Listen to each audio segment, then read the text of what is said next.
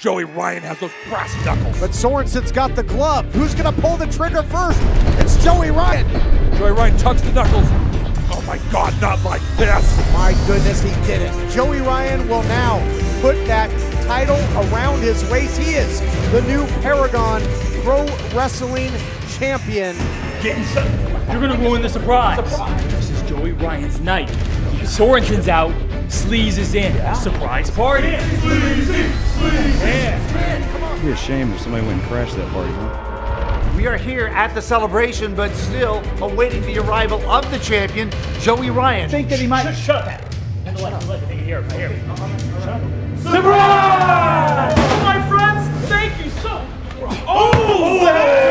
oh! Where is Joey Ryan?